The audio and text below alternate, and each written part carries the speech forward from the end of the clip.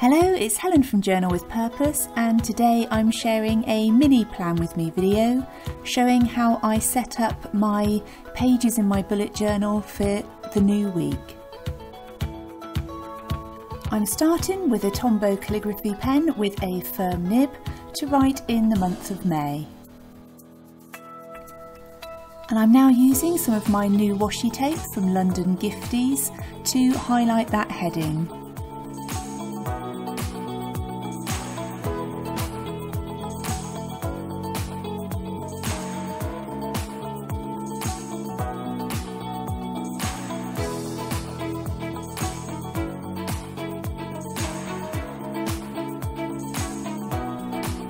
Next up, I'm using a Staedtler pigment liner with a 0.05 nib to draw in two boxes at the top of my page.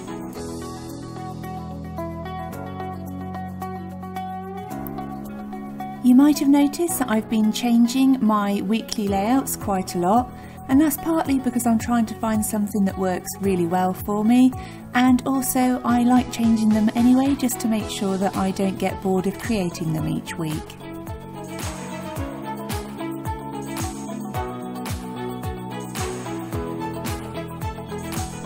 I'm now using the Tombow calligraphy pen again and one of the boxes will be for my priorities for the week and the other one will be for a mini weekly tracker.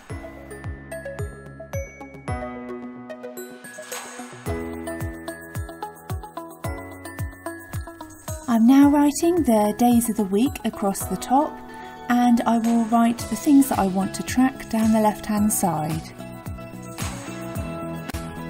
And the things I'm tracking at the moment is to make sure that I have enough water, no alcohol evenings, a good sleep, having good levels of energy and spending some time doing creative projects. I'm now using a Tombow ABT brush pen in N60 to highlight the boxes.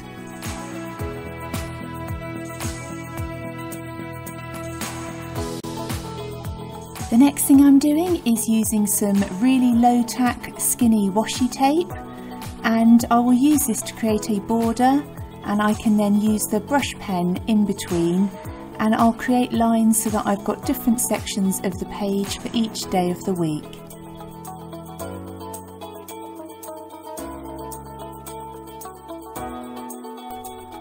I really like using the washi tape in this way because it's a really quick way just to set those lines out but to try and keep them neat as well.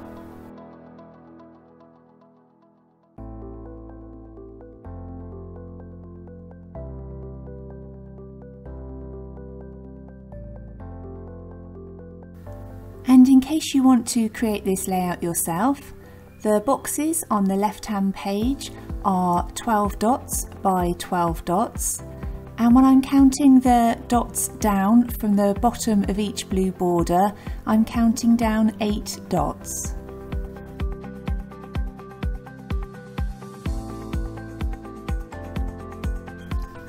I find it really helpful having a mini tracker on my weekly pages while some of these activities are already recorded on my monthly tracker, these are the pages that I have open on my desk all day, so they act as a really good reminder to me because otherwise I find at the end of the evening when I go to fill my monthly tracker in, I find that I'd forgotten some of my priorities and things that I wanted to track for that week.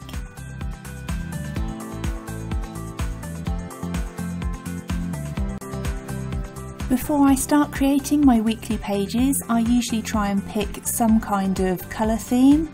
So I'll look through my pens, washis and stickers and try and find a few different things all using a similar colour.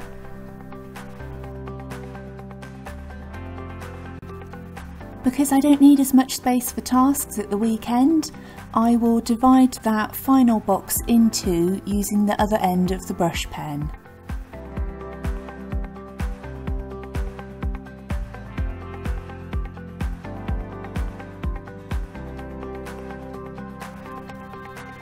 I'm now using the Tombow calligraphy pen again to write in the day and date in each box.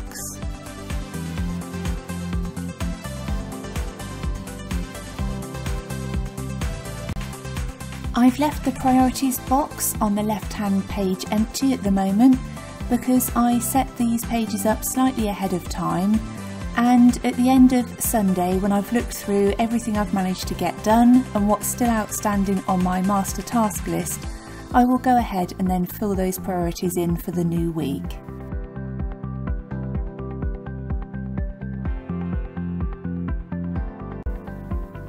Once I've finished writing in the dates, I will grab some stickers from London Gifties and add those to my page just for some decoration and to break the layout up a bit.